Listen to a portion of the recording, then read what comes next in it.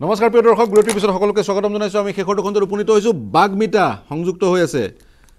আপোনাৰ ওচৰলৈ যাব বিচাৰিম। আপোনাৰ মন্তব্য ল'বলৈ। বাঘমিতা হয় পাৰ্থদা।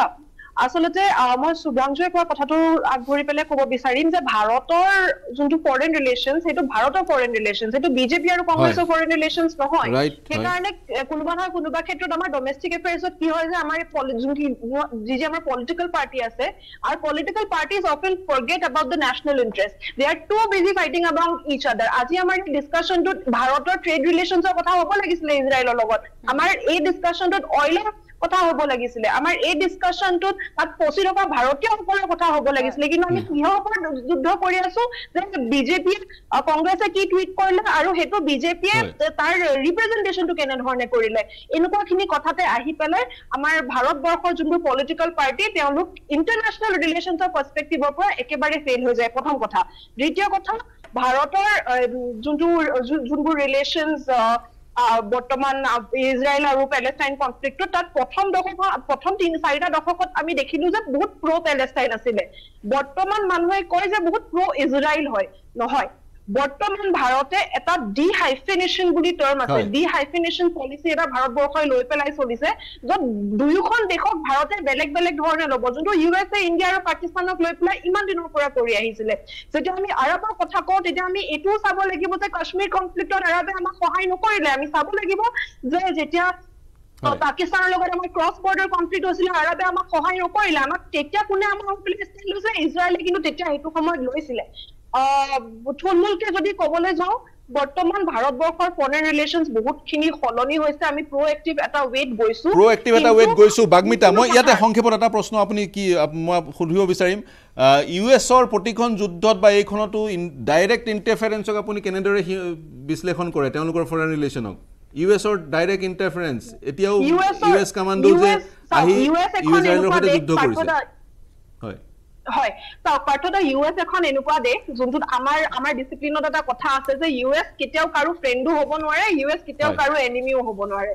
ইউ এছ এ কি কৰিব কি নকৰিব সেইটো আমি কেতিয়াও প্ৰেডিক্টে কৰিব নোৱাৰো কিন্তু আমি এটা কথা নিশ্চিতভাৱে মই ক'ব পাৰো যে ইউ এছ এ যি কৰিব সেইটো ইউ এছ এ নিজৰ ফেভৰত কৰিব ইউ এছ এ বিশ্লেষণ নকৰে যে ইছৰাইলৰ কিমানখিনি আমিও। তেনেধৰণে কৰিব লাগে নহয় জানো আমিও তেনেধৰণে কৰিব লাগে বুলি আপুনি ভাবে আমি নিশ্চয়কে মই তেনেধৰণে আমাৰ চাওক, আমি interest টো যেতিয়া ইয়াত supreme, যে পিছৰ হয়। কথা বাৰে বাৰে শান্তিৰ কথাটো যিহেতু বাৰে বাৰে শান্তিৰ কথাটো কৈ থকা হৈছে হয়। যেতিয়া আমি ইণ্টাৰনেশ্যনেল ৰিলেশ্যনছৰ কথা কওঁ ন ইণ্টাৰনেশ্যনেল ৰিলেশ্যনছত শান্তিৰ কোনো ডেফিনেশ্যন নাই। শান্তিৰ কোনো ডেফিনেশ্যন নাই। মই এৰিব লাগিব বাঘমিতা এই বাঘমিতা মই এৰিব লাগিব উম, আহ, ক্ষমা বিচাৰিছোঁ। আপোনাৰ পৰা মোৰ সময় নাই ৰত্না সিং ডাঙৰীয়ানী। হয়। চাগৈ মোৰ হাতত সময় নাই যিহেতু শেষৰটো মন্তব্য হ'ব আন কেইগৰাকীৰ ওচৰলৈ মই যাব পাৰিম নে নাজানো। আপোনাৰ পৰা শেষৰটো মন্তব্য ল'ম। ইণ্টাৰনেশ্যনেল ৰিলেশ্যনত শান্তিৰ কোনো ডেফিনেশ্যন নাই। নেশ্যনেল ইণ্টাৰেষ্ট হৈছে সুপ্ৰিম য়েছ সদায় বিজেপিৰ কাৰণে এজ এ বিজেপি প্ৰবক্তা মই আমাৰ কাৰণে ইচ এণ্ড এভৰি ওৱানৰ কাৰণে মই বিশ্বাস কৰোঁ আমাৰ কাৰণে দেশ প্ৰথম। দেশ প্ৰথম দেশ প্ৰথম পাৰ্টি ছেকেণ্ড আৰু ইণ্ডিভিজুৱেল লাষ্টত আছোঁ লগতে মই ক'ব বিচাৰিছোঁ যে আজি যিটো ইণ্টাৰনেশ্যনেল ৰিলেশ্যনছ ভাৰতৰ আহিছে এক ভাৰতৰ যিটো আমি কথাবোৰ কৈ আছোঁ আজি ভাৰতৰ বিজেপি চৰকাৰ অহাৰ পিছত বহুত নীতি চেঞ্জ হৈছে আৰু আমি ষ্টেণ্ড কৰিছোঁ সেইটো বেটা আফাৰ্মেশ্যনছ আৰু ষ্ট্ৰং আমাৰ এটা পজিশ্যন আনিছোঁ আৰু সেইটো নৰেন্দ্ৰ মোদী ডাঙৰীয়াৰ লিডাৰশ্বিপ। মেটাৰ কৰে লগতে মই। ক'ব বিচাৰিছোঁ যে কংগ্ৰেছ আৰু বিজেপি মই কৰিবলৈ মন নাই কংগ্ৰেছে চি ডাব্লিউ চিয়ে। কি কৰিছিলে তাৰ পিছত জয়ৰাম ৰমেশে কিয় বেলেগকে টুইট দিব লগা হৈছে ৰাইজে মন্তব্য ৰাইজে আপুনি নিজে কৰিছে। discussions মই কৰিব কংগ্ৰেছৰ পাৰে প্ৰতিনিধিগৰাকীৰ মই ওচৰলৈ বিশ্বাস আহিম। কৰোঁ হয়, যে হয়, শান্তি আপোনাৰ থাকিব পৰা লাগে শেষৰটো শান্তি মন্তব্য কামনা একেবাৰে আছে। সংক্ষেপত হয় হয়। শেষৰটো মন্তব্য চাওক, সংক্ষেপত চাওক, হয় এতিয়া কথাটো হ'ল আমি যুদ্ধৰ কথা পাতি আছো আমি মানৱতাৰ কথা পাতিছো ইয়াতে কংগ্ৰেছ বিজেপি কৰি লাভ নাই যুদ্ধ হৈছে ইজৰাইল পেলেষ্টাইনত।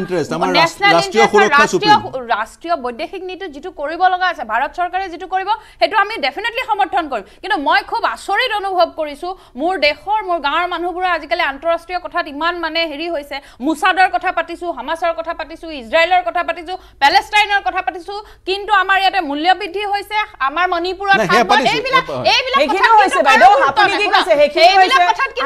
হৈছে-। বাইদেউ। যুদ্ধ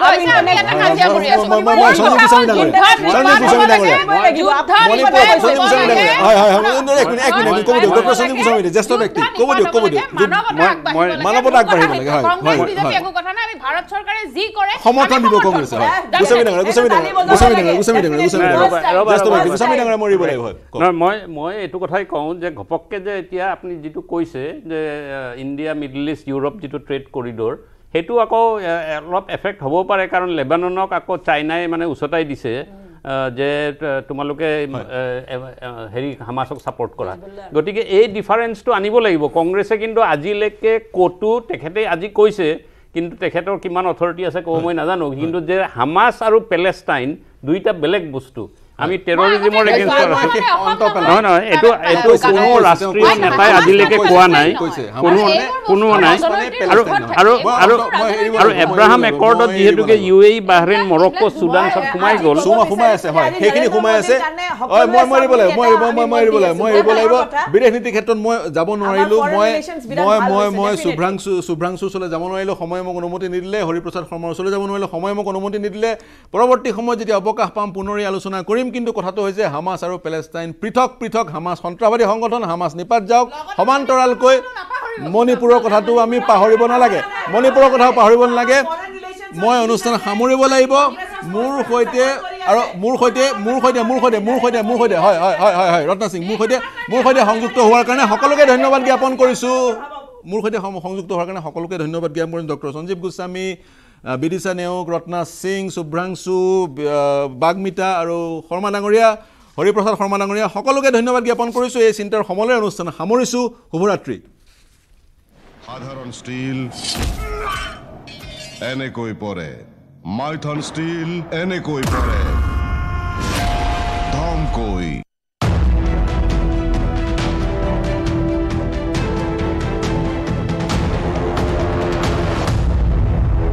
বাতৰি আগবঢ়াই